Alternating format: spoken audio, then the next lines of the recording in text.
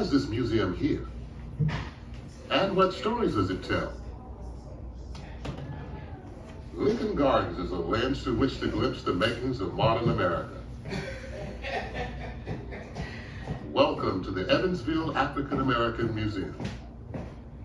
A description of an early French outpost proves that people of African descent have been in Indiana since at least 1746. Our new settlement has 45 inhabitants, of which five are black slaves. Indiana's 1816 admission to the Union encouraged migration of free blacks into the new state. Evansville's first black citizen, a horseshoer or farrier, arrived in 1820. While the frontier was hostile to all settlers, African American pioneers faced more than their share of danger as white Hoosiers viewed blacks with everything from suspicion to outright hatred. The most notorious display of anti-black sentiment was a clause in the 1851 state constitution designed to prohibit further African Americans' immigration to Indiana. Still, the Ohio River was the dividing line between slavery and the hope of freedom. And the Evansville home of Willard Carpenter, a wealthy white man, was an underground railroad stop. At the outbreak of the Civil War, Indiana was home to more than 10,000 blacks. The bloody war finally ended, but most former slaves couldn't afford to leave the South.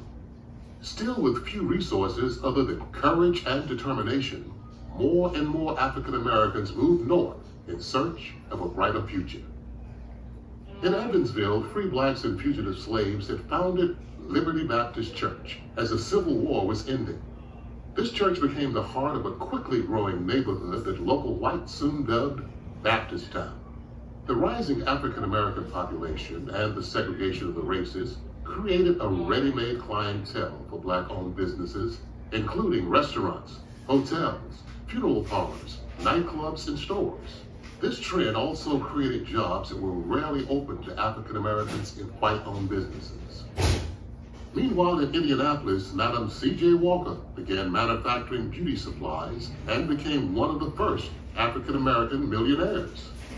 The Great Depression brought equal opportunity misery, but blacks were disproportionately afflicted by unemployment and inadequate housing.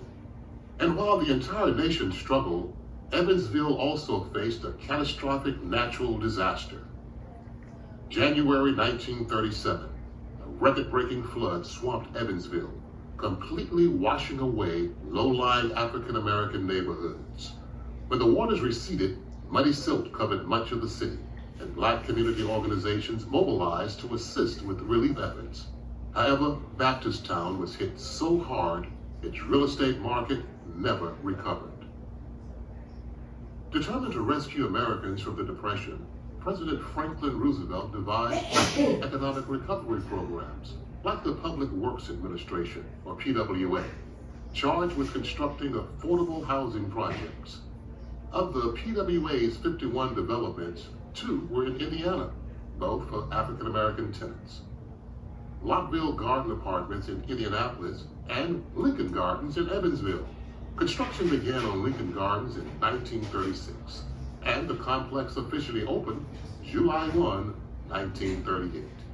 Compared to the other options available to most of Evansville's African Americans, Lincoln Gardens was an excellent opportunity, and it soon became the center of a thriving neighborhood.